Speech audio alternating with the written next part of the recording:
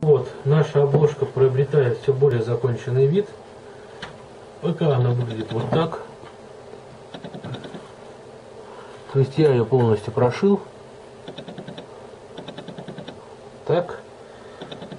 Все красиво, все ниточки убраны. Ничего нигде не видно, что где-то что-то торчит. Или где-то чего-то там.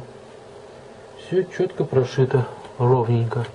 Так, что нам осталось сделать? Нам осталось обработать урез, чтобы это все было красиво. Так, маленько полирнуть еще раз ее. И а, проставить обязательно клейму мастера. Ну и все, можно в принципе отдавать. Работа готова будет. Итак, сейчас мы будем работать с урезом. Как я и говорил, для обработки уреза я использую вот такой валик. Где его купить, я внизу под видео будет ссылка на Алиэкспрессе.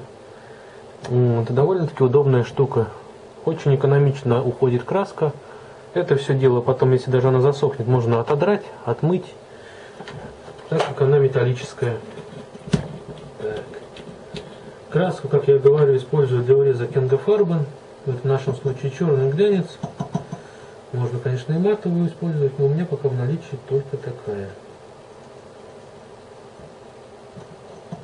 То есть эта краска очень быстро сохнет и при высыхании образует слой такой по типу резины.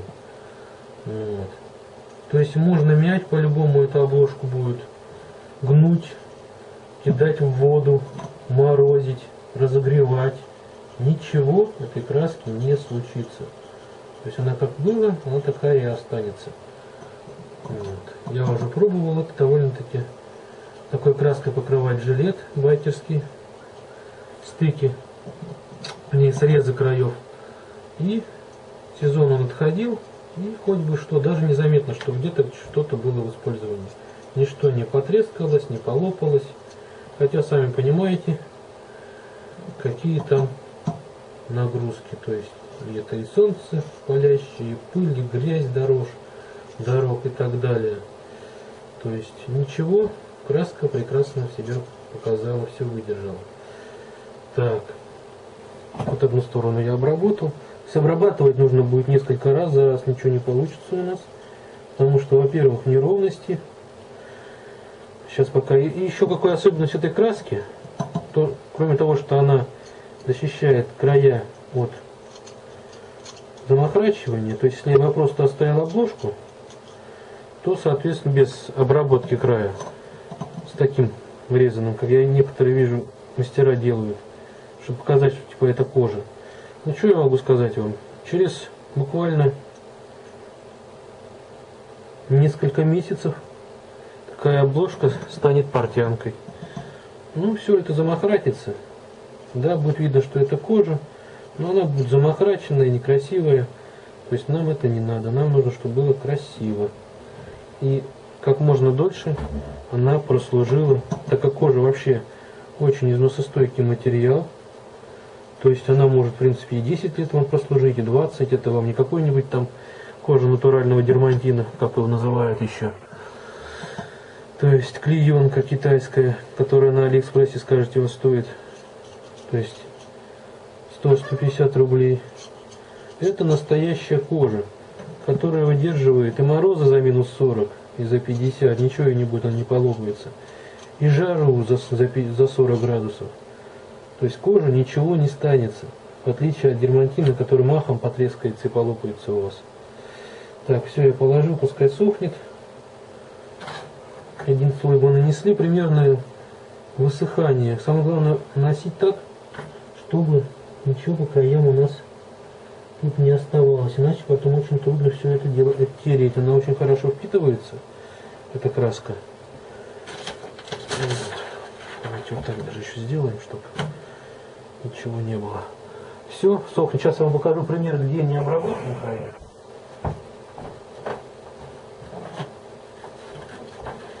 Ну вот, в данном случае, так, это сейчас я уберу, чтобы не пролить. Вот такая работа была сделана. Это у нас он даже не помещается на камеру. Кейс данный кейс был сделан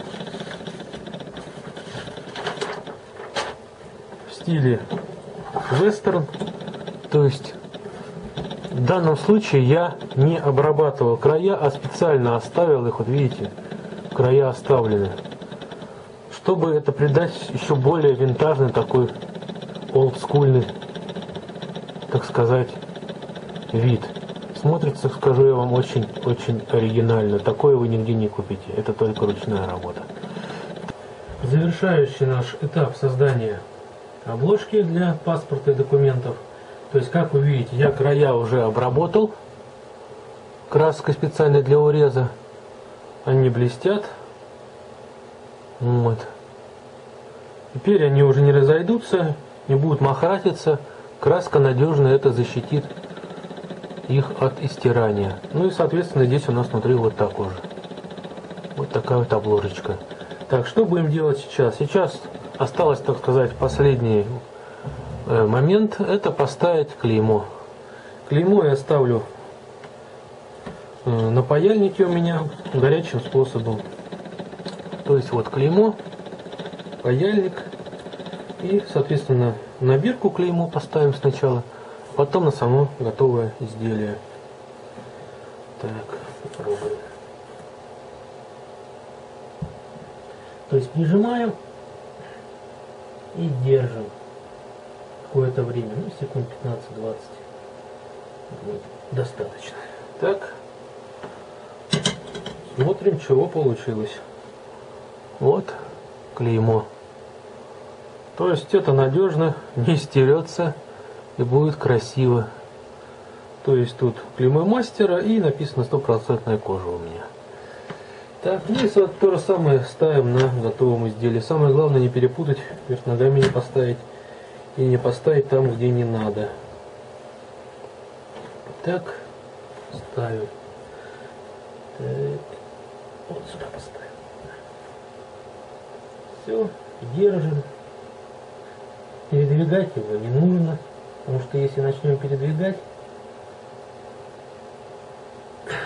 все хватит, то,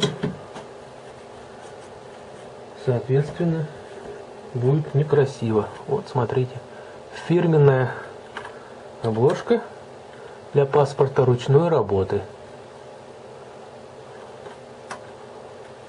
с клеймом. Так, сейчас посмотрим, как будут у нас документы тут находиться. Документов готово. Так, вот смотрите, как она выглядит у нас. То есть все красиво, все заполировано, ровненько прошито. То есть приятно взять в руки. То есть она даже такая, как, как живая. Так, открываем кнопочку и смотрим, что у нас здесь. А здесь у нас с одной стороны паспорт, с другой стороны у нас тут документы, то есть пенсионные, медицинский полис и так далее. Ну, еще что-то можно водительское положить, удостоверение или выдвинение сюда воткнуть. Сюда можно воткнуть свидетельство о регистрации машины, да хоть что можно, в принципе, положить. И смотрим по краям, у нас тут 4 карточки. Раз, два, три, четыре. То есть карточки заталкиваются отлично сюда. Вот. Вытаскиваются тоже хорошо, то есть легко. В принципе, можно даже и по две штуки их туда затолкать, если будет желание. Вот. Вот такое, такая небольшая вот работа.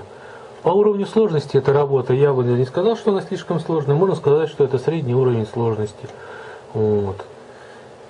Для начинающих, в принципе, тоже пойдет. Можно, в принципе, попробовать ее сделать. Вот такая вот обложка.